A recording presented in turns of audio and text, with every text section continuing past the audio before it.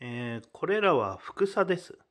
左側のオレンジと赤色が女性用、右側の紫色が男性用となります。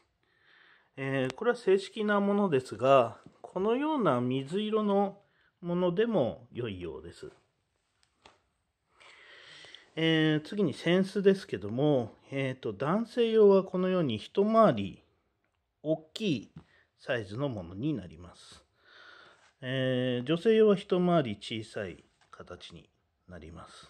で、塗りと,、えーとそうでないものとがあり、えー通常普通に、えー本番ではと言ったらいいんでしょうかね茶会とかでは正式にはこういう白っぽいものを使うそうです。